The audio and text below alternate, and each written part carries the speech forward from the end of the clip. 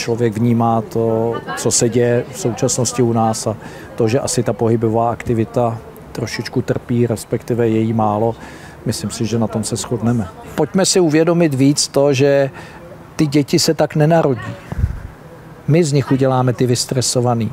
Děti se nenarodí otylí. My z nich uděláme ty otylí. Děti se nenarodí neaktivní. My z nich uděláme ty neaktivní. My to dovolíme. My jim dovolíme ty, eh, ty, tu, tu digitální demenci a tak dále. To znamená, tu zodpovědnost ten rodič musí na sebe vzít problém tu není v tom, jestli ta doba je špatná nebo je dobrá. Problém je v tom, že podle mého názoru nevedeme eh, ty lidi k zodpovědnosti vůči svýmu tělu, vůči svý pohybové aktivitě, takže takovýto starořecký kalokagátia rozvoj rozumu, těla a duše trošičku se vytratilo a my teď jsme tím blahobytem víceméně zneužívání. Proto říkám, že je hrozně důležitý v této době více než kdy jindy vést ty děti k zodpovědnosti. Tahle generace vůbec není strašná. A pokud je strašná, tak jsme z ní strašnou udělali my, starší.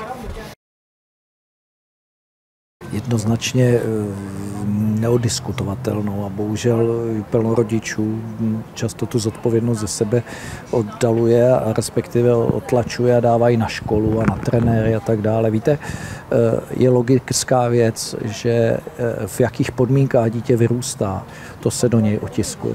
Jestliže bude vyrůstat v podmínkách, kde v rodině ten pohyb patří jako každodenní součástí, stává se, neříkám, že je to pravidlo, ale stává se, že ty děti tohle to všechno převedou dál.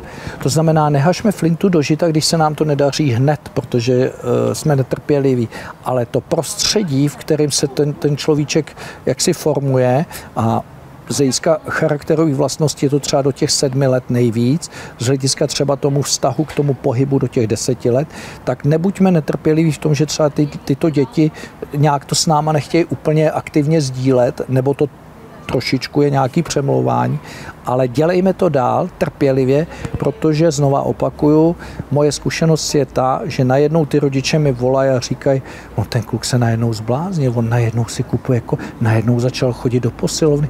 Já tím chci říct, zaséváme a budete sklízet po pubertě. Já si myslím, že dodržovat nějakým způsobem takzvaný implicitní učení, to znamená snažit se o to, abych vytvářel podmínky pro to, že to dítě ne, že musí jednat, ale že chce jednat. A to je velký umění vlastně koučů, učitelů, pedagogů, rodičů, vytvářet podmínky pro to, aby to dítě se necítilo, že je do toho nuceno, ale aby to dítě vlastně e, přistupovalo k tomu jako k implicitnímu učení, což ono vůbec si ani neuvědomuje. A jestliže já teda si nedám práci a nějakým způsobem nehledám ten spínač k tomu dítěti, jakým způsobem já bych ho vlastně k tomu mohl přitáhnout, no tak pak to vypadá, že to je příkaz, rozkaz, motivace a to jsou tři věci, které já nevnímám, že jsou a nevedou k implicitnímu učení. To znamená, je to o tom vtažení do, pro, do procesu, je to o tom natchnutí, je to o té emoční vazbě. To dítě je hrozně citlivý ne na racionalitu, ale na emoci. Pro ty děti eh, je důležitý, aby to byl trenér, který vytvoří především silnou emoční vazbu těch dětí k aktivnímu pohybu, neboli k tomu fotbalu, neboli k tomu tenisu, podle toho, co to je za sport. To není vůbec jednoduchý. A vytváří emoční vazbu.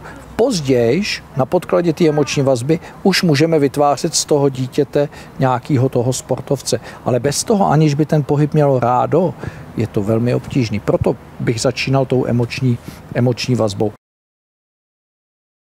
Tak problém, který tu je, že se všude hlásá, ale to není asi jenom u nás, že ty nejlepší trenéři k mládeži. Jenže u nás nejlepší trenér, co to vlastně znamená? Co je nejlepší trenér? Já bych rozlišoval trenér právě pro ty nejmenší a trenér, který se věnuje těm starším. Ona ta metodika výuky už je sama o sobě jiná, ale všimněte si, že plno sportu, snad myslím si mimo fotbalu, všichni mají ty trenérské licence jedny. Jsou trenéři, kteří jsou úžasní a jsou dokonce bezejmený, respektive bezejmený myslím v tom, že trénou neustále děti a nikde v žádných novinách se o nich nepíše a nemají žádné hodnocení. Já si těchto lidí hrozně vážím. Bohužel my pak v tom vrcholovém sportu jako za to hodnocený jsme, slízneme smetanu anebo naopak nevděk ale ve své podstatě tu, tu gro práce udělali ty trenéři do těch 12-13 let, ty zasely. My pak už jenom sklízíme. Víte, to je velmi složitá otázka. Já jsem sám byl učitel tělesné výchovy a mohu vám říct, že teď už bych to ani moc dělat nechtěl, protože tady najednou vznikla v demokratické společnosti trošičku anarchie v tom, že každý rodič to umí líp než ten učitel. K- kritizujeme neustále. Na druhé straně kvalita těch učitelů možná z nějakého důvodu je nějaká. A teď je otázka, že se tu setkávají dva světy a já často slyším ty pedagogy, učitele, kteří říkají, hele, já ty děti radši nechávám sedět, protože kdyby se zranilo, kdyby si něco udělalo, tak já mám z toho hned polízanici. Oproti jiným předmětům, že může dojít k fyzickému zranění. Při matematice asi ne, ale při tomhle si opravdu to dítě může zlomit ruku, může se něco stát. To, co já vnímám z fakulty tělesných a z jiných pedagogických škol, kde jsem tam přednáším, tak vnímám, že ty, ty kluci a ty holky, ty tělocvikáři to umějí, ale dostanou často takový ťavky od toho praktického života, že pak dojde k pasivitě a oni si vlastně řeknou, no, tak ty rodiče někteří ani vlastně vlastně nechtějí aby, a bojejí se o to, aby nedošlo k nějakému zranění, nedošlo k nějakým negacím, tak najednou ta výuka bohužel trpí, to s váma souhlasím a myslím si, že to nevyřeší ani třetí hodina tělesné výchovy, pokud vůbec bude. Já eh, provokuju trošičku takový, mám takový eh, přednášky pro rodiče, který jejich motem je vychovejme nejdřív dobrýho člověka a potom až vrcholového sportovce. My často přeskakujeme a hned se ptáme, jak vychovat toho vrcholového sportovce. Jedno procento dětí, který ve čtyřech letech začne s hokejem, se tím živí. To znamená, pokud si vytvoří vrcholový odpad, tak si uvědomme, že teda my se bavíme o jednom procenti, procentu a 99% je v uvozovkách jako někdo, kdo nás, nás zajímá jenom to procento, teď to je přece totálně špatně nastavený. A všichni chtějí najednou mít vrcholový sportovce, lepíme jágry nad postel, až jednou bude žrát to NHL. A já znova opakuju, myslím si, že bychom se měli zaměřit na to, že ten sport má plno krásných atribut, který vlastně těm dětem může dát a my jakoby přeskakujeme, jakoby zapomínáme, který jsou, ať už je to odolávat stresu, mět pracovat s neúspěchem, je naivní si myslet, že když bude víc fotbalových hřišť, že jen tak bude víc fotbalistů. Já si myslím, kdo v současnosti chce sportovat, prostě může. To není o tom, že by bylo málo hřišť. Já s tím nesouhlasím. Ale na druhé straně, když chci vytvářet opravdu vrcholový sportovce a sportovce, kteří jsou konkurenceschopní těm eh, vrcholovým centrum ve spo, v, v, v celém světě, tak samozřejmě tam to je o penězích. Tam je to hodně o penězích. Proto já striktně rozděluji vrcholový sport a zájmový a výkonnosti. Takže ano i ne. Vrcholový sport a vedení k vrcholovému sportu jednoznačně zájmový a výkonnostní sport si myslím, že už tak limitovaný penězma není, ale je více limitovaný subjektivním nastavením toho dítěte. Chci to dělat, tak to dělám.